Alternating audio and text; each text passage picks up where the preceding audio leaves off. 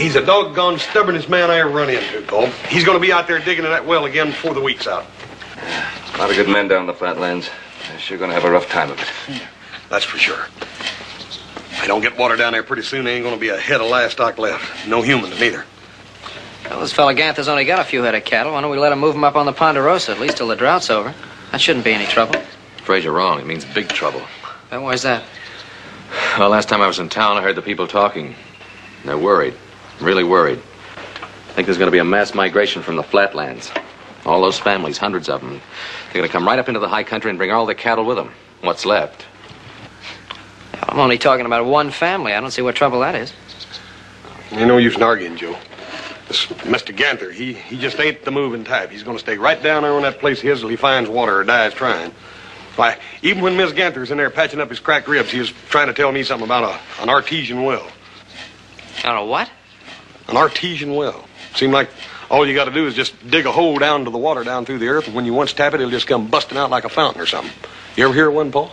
No, yes, I've, I've heard of them, but they're shallow wells. This part of the country, the water's about 100, maybe 200 feet deep. They wouldn't work around here. Uh, Paul's right. It won't work any more than this auger is through this hard wood. Now I got to sharpen that thing again. Hey. Hey, wait a minute. Give me that thing a minute. Doggone it.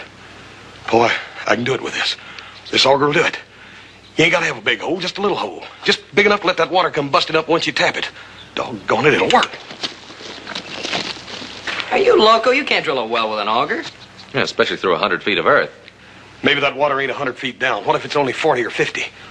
I can do it, Adam. I can reach it with this auger. Well, it's finally happened. The sun's fried his brain, so he doesn't make sense anymore. Yes, I do make sense. And you'll see how much sense I make, too, once you see that water come busting up out of the ground. Well, how are you going to keep the sand from pouring in after you pull the auger out? I ain't going to pull it out. I'll just keep adding steel to the top of it until I reach that water. Oh, sure you will. Now, it's amazing what the sun will do to a man's head. Now, wait a minute. I'm not saying this is going to work.